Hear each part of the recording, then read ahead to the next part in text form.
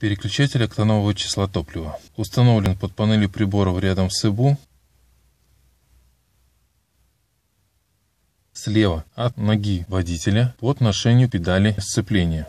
Переключатель предназначен для выдачи блока управления информацией об октановом числе применяемого на автомобиле топлива. На автомобиле рекомендовано применение неэтилированного бензина с октановым числом 92-95. С завода автомобиль с каталическим нейтрализатором отработавших газов выход с калибровкой ИБУ под бензин с октановым числом 95. При этом выводы колодки переключателя октанового числа не замкнуты между собой. В случае заправки автомобиля бензином с октановым числом ниже ниже 92, следует установить перемычку между выводами колодки. При этом ЭБУ скорректирует угол опережения зажигания и подачу топлива.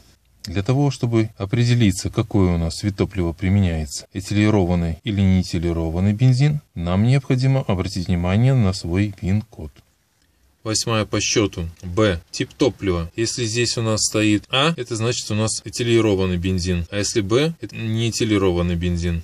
При включении зажигания электронный блок подводит питание к форсункам, блоку катушек зажигания, клапанам и датчикам системы, включает топливный насос на 2 секунды, обрабатывает сигналы датчиков температуры, охлаждающей жидкости и положение дроссельной заслонки. Для расчета состава топливо-воздушной смеси, необходимого для запуска двигателя.